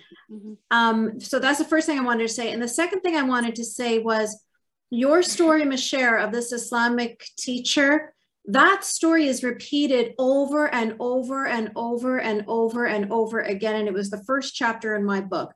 The way they whip us and the way they punish us, the way the religious police were beyond inhumanly vicious to your dog. Do they really think that's going to endear us to Islam? Don't they know that they're pushing people away? Like when your Quran teacher is is is a madman, is a violent madman. Do you think that's going to make kids love the Quran and and and want to study it and want to pray? Of course we're going to hate it. You are doing it. You are pushing people out of Islam and then when they try to leave you say, "Well, now we can kill you because now your blood is halal." But people are Yes. we're used to fear. You put fear in us from the minute we were born. And so we don't care anymore. We've always always lived in fear. That was my constant state. I was in a constant state of fear. So now you're threatening my life. Well, what else is new? I'm used to that. I'm used to being scared. And so Yeah. really there's they taught us not to value life. They taught Yes. us that this world is not important. And now they're saying, well, we're going to kill you. Well, you already taught me that this world isn't important. You know what I mean? Like you put that, you Exactly. created the soldier that I am today. And so this is, this is your doing. Actually, at some stage in my life, weird, but I wanted to go to hell because when I would see the amount of people who's supposed to be in heaven, Mhm. and they would tell me, for example, all these Christians and all of these, because you know I loved music, so they would always tell me stuff like, "You will go to hell with them." You're so like, you would go along okay. with them. exactly, and I was like, you know what? Free concerts. I mean, you lose. and here I am Free concert. partying my ass off while you're what? Having sex with some angel virgins? I mean, yeah, in a river of buttermilk I with honey. right? halal. Why is, oh, halal. why is this enticing? I mean, how bad? Exactly. In Hell with Bowie and Lennon. How cool is that? Yeah. and Prince. Unbelievable. I mean, what's yeah. the worst that could happen? A, a beer that was sitting out for like a couple of days. If that is the worst, that's totally fine. And then, you know, they would try and tell me these stories, you know, this and that is going to happen to you. And I'm like, yeah, yeah, yeah, but is, you know, Backstreet Boys gonna be there? Because that's that was my jam back in those days. of course. And and I'll be like, yeah, yeah, skip to the good part. I mean, Mother Teresa's gonna be there. I mean, we're gonna be. What are you talking about here? I have a party, a hell of a party. so I really, I literally accepted to be in hell. I was fine with that. I was like, just mm. leave me alone. But that's the thing. They tell you that if your child is not a good Muslim, it's not just his choice, you all go to hell. And that yes. is a very smart thing. They yes. tell you if one person is doing this, you all go together. So now yes. everybody goes against you. They all unite because they all want to be in heaven with all mm-hmm. those losers. I'm too cool for heaven. Man, we're all too cool for heaven. We're Lois. too cool for heaven. I feel like making an album that says that. well, I well back to well, you're basically talking about the way that Western uh, Western liberals don't. Well, they should be embracing you, and they should be taking up your cause according to their supposed principles. And I'm wondering if some part of this whole thing is they can't comprehend that anybody could possibly believe this extreme religion. They can't believe that they really believe it, and it can't possibly be what you're saying it is. And I say that because, well, Yasmine knows that I'm an ex fundamentalist. I was raised a fundamental Christian. And I do understand. I've seen extreme beliefs that are absurd. Yeah. And so ex fundamentalists do understand, but people that have never been deeply entrenched in any any fundamental religion just have trouble believing that mm-hmm. that there are people that genuinely do believe it. Do you yeah. think that is involved in it at all? Uh, yes, absolutely. they are so much in their world that they actually believe they are gonna make the whole world Muslim. I mean, I used to hear that when I would pass by uh, on Fridays. You would have this imam who, after prayer, he would just take the mic and just talk about how Israel and everything and this and that. And he would say, Our aim is to go out there in the world and make everyone Muslim like the Prophet did, because the Prophet apparently he took a sword and he killed everyone and he said, I am forcing you to be Islam, Muslim. And we should all do that. And that's why all of these terrorist attacks are happening. I mean, I don't know, but I think that's one of it. But, but Western, the, the Western liberal uh, the one the people that have never been exposed to any fundamentalist religion. I mean, they see it around them, but it's not real to them, and they cannot believe that. They think, well, it, they don't really believe that. There's some other reason. There's something else that they're that's causing these things that, that nobody could possibly believe this. Absolutely, even we don't believe this, and we are from there. Mm-hmm. I mean, Yasmine is the same, uh, Sahara is the same, and, and Diora is the same. We're all thinking, this is not right, and we are from there. So I can totally understand if you cannot comprehend this. Mm-hmm. And by the way, you one prophet uh, had hallucinations in a cave. Well, I understand that the Apostle Paul, who wrote most of the Christian New Testament, had epileptic seizures. Mm and everything he wrote was because of what he saw in epileptic seizures. Did he ever fly on a winged mule that had the face of a woman? like this is a plausible story, right? And and then oh, while yeah. he was flying, that's where he saw all the women in hell being hung by their hair because they were enticing men yeah. you know and then he split the moon in half although that was a different day like just absolutely ludicrous things and mm-hmm. and the fact and it's it's like okay you want to have your irrational thoughts or your irrational beliefs or your irrational fairy tales that's fine but my problem is that these irrational stories cause such harm Yes. they're yes. so violently hatefully cruel to people today. Like please Yes. just believe that stuff over there in your home with the door shut. Fine. You know people believe all sorts of crazy stuff. That's their business. But but the fact that it's in laws it's in government and it is causing so much chaos on this planet and you know what? They're killing each other more than anything anyway. Like i, I don't know if you guys saw recently um in afghanistan where there was was it or pakistan where sunnis killed shias in a shia mosque and like 200 of them were injured or something. He went in there with a with a suicide vest because that's what they do. They even kill each other for not being Yeah. muslim enough. So imagine what they're going to do to the non-muslims Yes. you know less than cockroaches yeah Yes. Yeah, it's the same in Saudi. They have the whole difference between Sunni and Shia. Mhm. And I remember the first time I learned about that, I was 15 uh, or 16, I can't remember. And there was a girl who came over to me and said to me, So are you Sunni or Shia?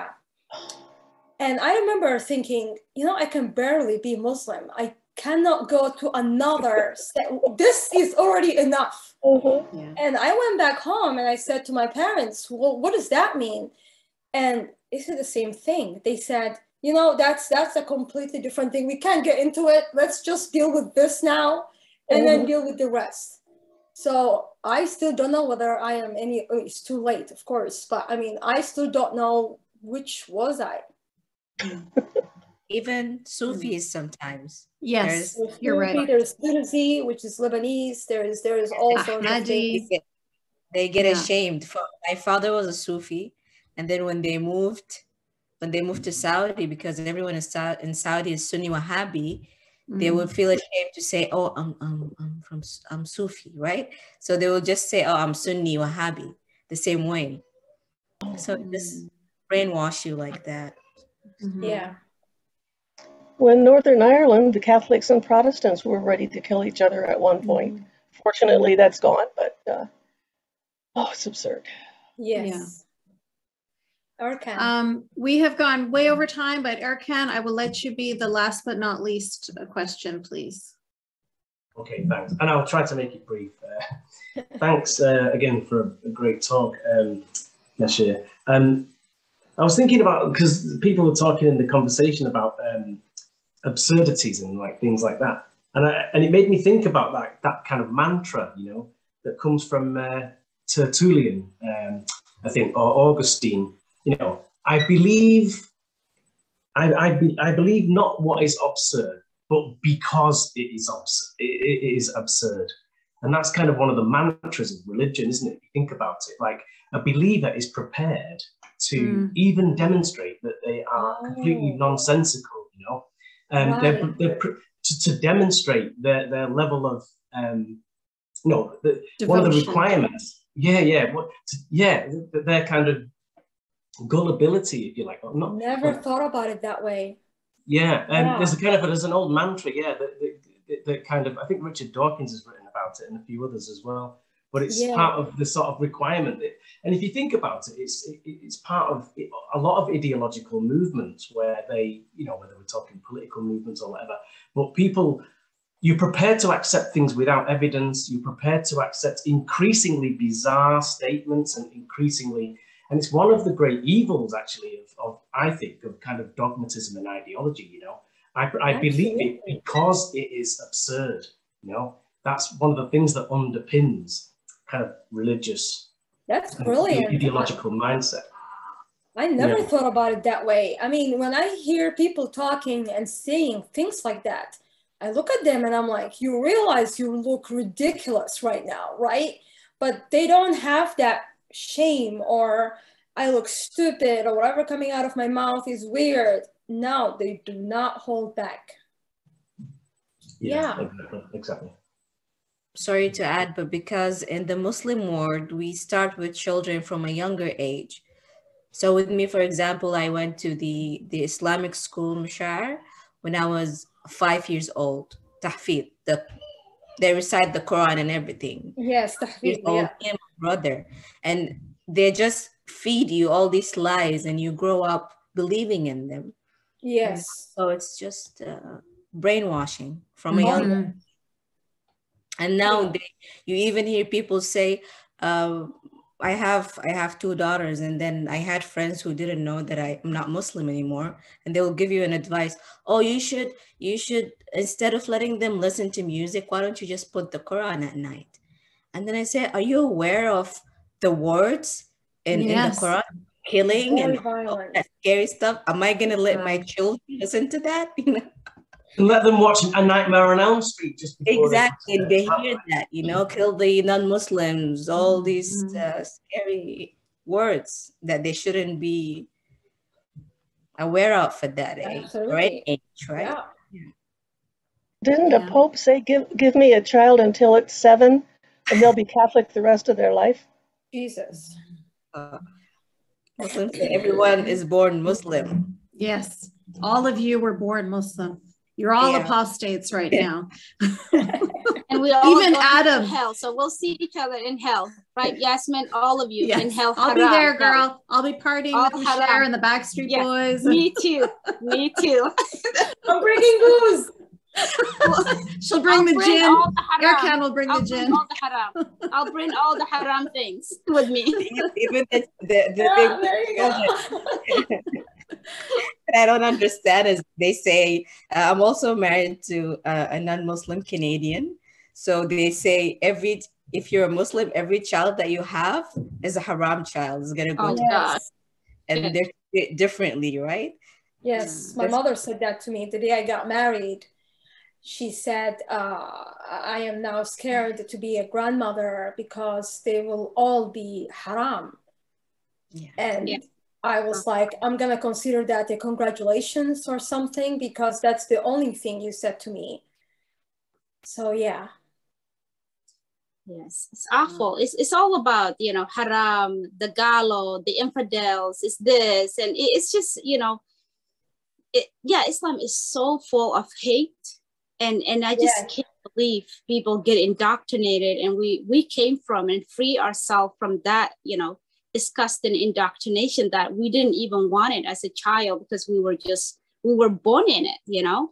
Yes, and, and just leave it and you know the consequences. That's why we speak because it's a must. If we don't then here we have people in the west who are just crazy they are not all of it. I'm just talking about the woke and and the people who think islam is a religion of peace or uh, hijab it just means a piece of cloth on your head you know so i mean it's just it's just amazing how many times i heard that word like haram galo you know which is the infidel galo Oh, you know yes, I know don't word. you're gonna be gallo this baby is haram if you marry somebody it's just it's just it's it's fear it's fear No, control. it's, it's, And it's control. and I'm yeah yeah mm. And I remember uh, Israel was one of the mm. Jews in general. It was one of the, mm-hmm. I mean, you mentioned it in your book, Yasmine. Mm. And uh, it was, I mean, uh, now that I think about it, I don't know if any of you know, but if you would ever buy a map from a Middle East country, Yeah. you will see that Israel does not exist. They actually uh, wiped it out. I mean, luckily it's small. I mean, I'm thinking, what if it was like Russia or something? that would have been Yeah. really obvious. but yeah, they wipe it out, and then you never see an Israeli product in Middle East. That's I remember awful. when we lived in Dubai. My husband uh, drinks uh, sparkling water, and you have this soda stream, and the the gas that you put in the soda stream that makes sparkling water is an Israeli product and only Israeli. And we could never find it in the whole time we were in Middle East, whether it was UAE, Bahrain, of course Saudi, simply because it's an Israeli product and it's not there. So now that we're in France, we have that. Yeah. And uh, yeah, and I remember you talked about Seinfeld. That was really funny. It was Yeah. around the time that I was watching Seinfeld. So Yeah. yeah, it's very It's an obsession. It's an obsession with Jews all the time. My mom would like, yeah, she. That's how I know all the what Jewish, what are Jewish last names or even first names, mm-hmm. is because I grew up with that, with my mom constantly on alert for the Jewish people, right? Yeah, under the tree. Yes. Yeah. under the tree. yes. Like they're just they are under yeah. the tree somehow. Yeah. Yeah. Well, the rocks and the trees are like, oh, Muslim, there is a Jew hiding Jew. behind me. Come yeah. kill him. Come kill him. Yeah. Like, come kill oh. I did not know that. Was it was it like a that's a hadith or yes, pretty much. Oh, okay. Yeah, that's a hadith that says that the yeah that Muslims and the, the and Jews will fight until the Muslims have killed all of the Jews. And oh. even the rocks and the trees, if Jews try to hide behind the rocks or the trees, the rocks and the trees will say, Oh, Muslim, there is a there is a Jew hiding behind me, come kill him. All except for one type of tree. One type oh, of tree that can't speak or oh, won't tell on the Jews. Oh, it's just ridiculous. Yeah, you know, it's funny. I was watching. Uh, I watch. Um, I don't know why. I watch a lot of criminal shows. Uh, you know, because of the detective and police, and it's you yeah. know real. It's not like in the movies. So uh, I remember uh, Ted Bundy. I don't know if any of you know. Yes. Um, and his story. I think I think it was him that they said we digged into his childhood and he actually had a terrible childhood, you know, with his family beating him up and his parents. And I remember sitting next to my husband and I said to him, should I have become a serial? Am I am I being okay? Yeah. Like, is this behavior normal? Like I was treated exactly like Ted Bundy. But Way worse. I am opening bottles of champagne on Sundays and saying everything is fine. Let's just have mm. a drink.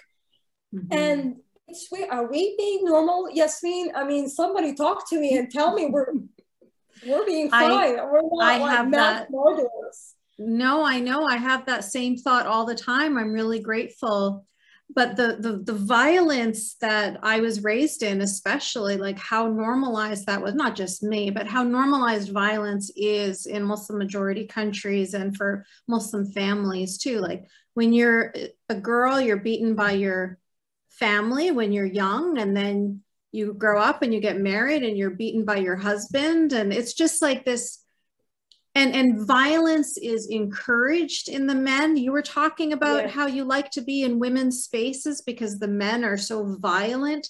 It's like if you're not a violent man then you're not man enough. They want yes. that toxic masculinity. They want that aggression. That's what's valued. So i talked a little bit in my book about how my brother was into watching nature shows and star trek and stuff like that. He wasn't into like wrestling and sports and he was humiliated for that because they they value the kind of men that basically should be behind bars. Those are the kind of men that they value and they say yeah this is good. Be be toxic be be vicious you know yes. be aggressive. And so you're just you're just surrounded by violence all the time. And if these men grow up to become jihadis if these men grow up to join Al Qaeda or ISIS or whatever, it's not that far of a stretch. They've Absolutely. been doing this their whole life. This is totally normal, yeah. even for the women to join these things. We've heard from these ISIS wives where they, they very nonchalantly talk about people being beheaded, but it's okay because they were kuffar. We wouldn't do that to they Muslims. Were, they were Shia. Unfortunately, yeah, or they're I, Shia. Yeah. I lost my brother for that. Um, I'm writing a book about it, but he joined ISIS. Um, oh, I am sorry to hear that. Yeah. That must hurt. Very. Yeah. Oh yeah. my gosh.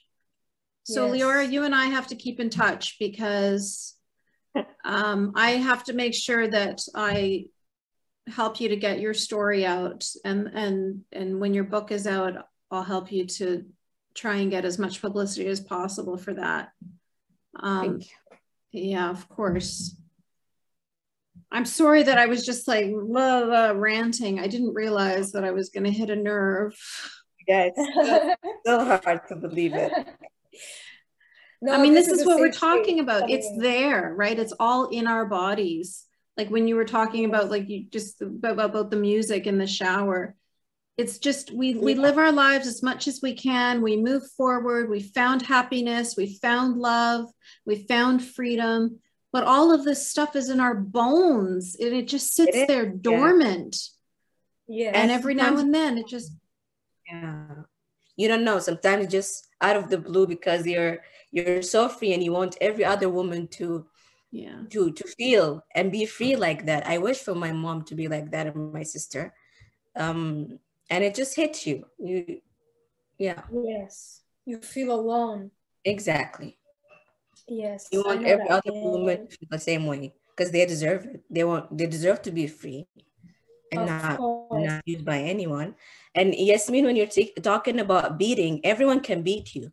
I remember one incident. My dad uh, called called me to the um, the men room because we have separate rooms in the house, and then my my cousin was there, and he he asked me to come in, and I come in, and he said, "Oh, this is your cousin. Um, do you know that I give him the permission to beat you if he finds out that you're go you're doing anything that's haram?" Mm, and my cousin is there. So imagine someone giving the other person the permission to do whatever he wants Yeah. with, with you to you, right? Yeah yes.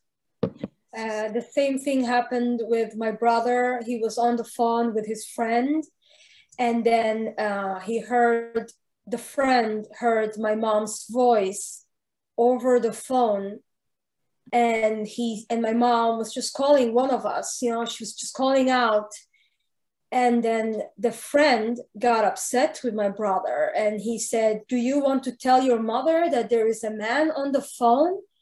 do you do you want to tell her to lower her voice because i can hear her voice and my brother said what's wrong with that? I mean she's called everything is fine. Like you don't even think about that. And then he said you're not a man. How could you mm-hmm. let your mom's voice be heard over the phone? So this guy is over the other side of the phone and he's controlling our house. That's the mentality that these men have that it's their job to control women. And they think they have permission.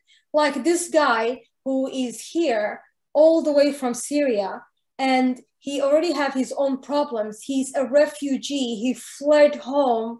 He is here with his wife and his wife is taking French lessons to be part of the community and people and everything. And these services is for free and he's getting love and support from the French government but yet he's going around telling other women what to do. And I find out I wasn't the only one. There was another lady, Syrian. She has a daughter and she never put hijab on her daughter simply because in the school they told her she cannot come inside the school with hijab. So the mother said, I just have to let her go to school without it. And the mother is fine with it, the little girl is fine with it, but this man who has absolutely nothing to do with this family cannot stop leaving them alone. And I, I told her, I don't want to go that far, but you need to call the cops. I mean, yeah, you don't want to do that. You don't even want to say that. It's it's extreme. But sometimes these people push you to do that.